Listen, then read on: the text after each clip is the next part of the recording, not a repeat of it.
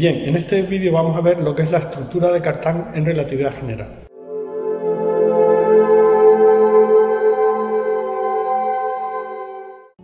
Bien, hasta ahora eh, hemos realizado lo siguiente.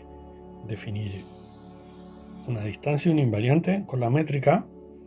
De aquí obteníamos el tensor métrico. Después de obtener el tensor métrico calculábamos los símbolos de Christoffel. Después de obtener los símbolos de Christoffel calculábamos el tensor de Riemann.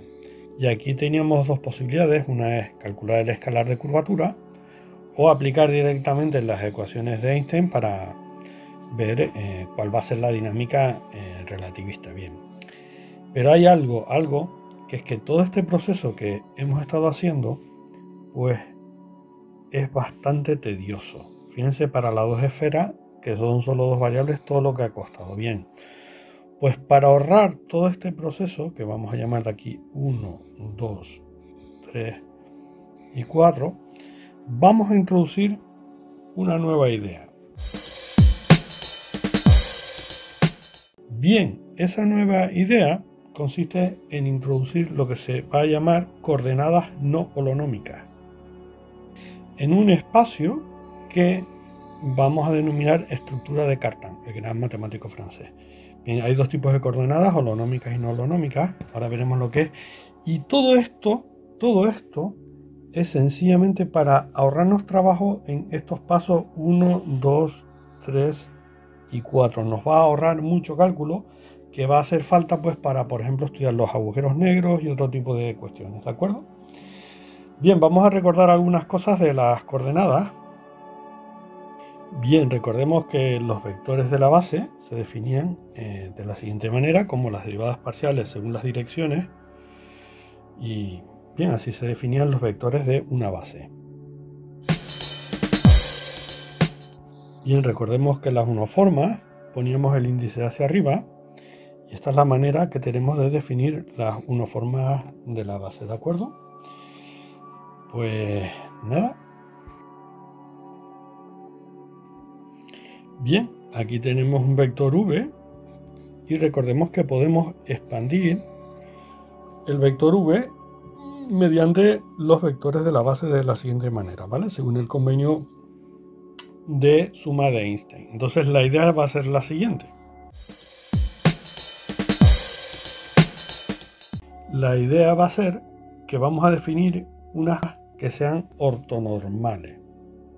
¿Qué es lo que vamos a llamar coordenadas holonómicas? En general, salvo el caso de las cartesianas, son todas eh, holonómicas que son no ortonormales, entonces las no holonómicas son las que vamos a forzar nosotros a que sean localmente ortonormales, ¿vale? Entonces vamos a ver un ejemplo.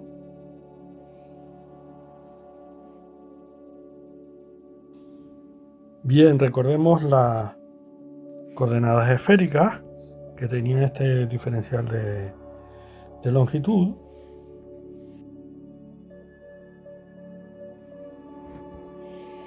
Bien, estas aquí son eh, el sistema de coordenadas esféricos y este es el diferencial de las coordenadas esféricas. Y ya conocemos los vectores de la base que son los vectores SUR, SUFI y SUTETA que los podemos eh, escribir de la siguiente manera.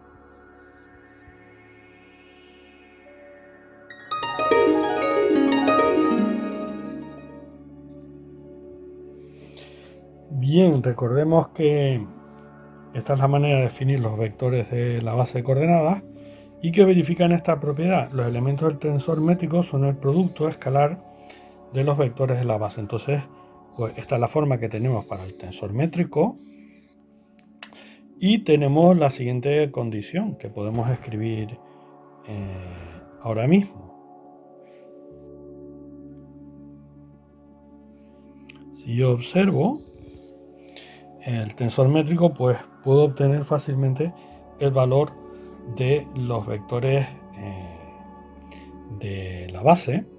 Pero claro, si yo calculo el módulo de su R, si me sale 1, pero el módulo de su teta es la raíz cuadrada del este elemento del tensor métrico, que es R, y el módulo de su phi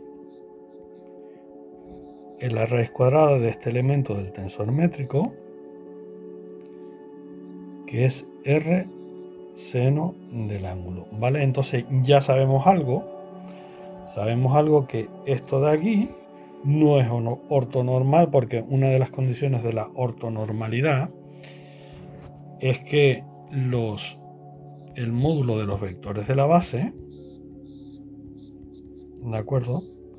tenían que ser igual a 1 y eso no lo está cumpliendo porque aquí evidentemente en este caso de aquí eh, aquí evidentemente no es igual a la unidad y aquí tampoco es igual a la unidad vale entonces en coordenadas esféricas los vectores de la base son holonómicos de acuerdo son holonómicos perdón. Son holonómicos entonces lo vamos a tratar de sustituir por otros no holonómicos que nos va a permitir eh, con plena exactitud eh, resolver en las ecuaciones de Einstein de una manera mucho más sencilla, ¿de acuerdo? Bien, pues esta es la estructura de Cartán.